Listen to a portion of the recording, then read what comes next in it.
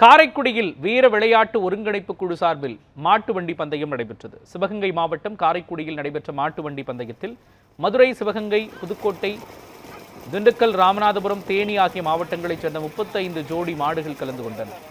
இரு பிரிவுகளாக நடைபெற்ற இந்த பந்தயத்தில் பெரிய மாட்டிற்கு ஒன்பது கிலோமீட்டரும் சின்ன மாட்டிற்கு ஆறு கிலோமீட்டரும் பந்தய தூரமாக நிர்ணயிக்கப்பட்டிருந்தது. மேலும் பெரிய மாட்டிற்கு ஐம்பதாயிரம் ரூபாய் முதல் பரிசாகவும் சின்ன மாட்டிற்கு முப்பதாயிரம் ரூபாய் முதல் பரிசாகவும் அறிவிக்கப்பட்டிருந்தது. பெரிய மாட்டில் அவனியாபுரம் ஜோடி மாடுகளும் சின்ன மாட்டில் காரைக்குடி மாடுகளும் முதல் பரிசை வென்றன.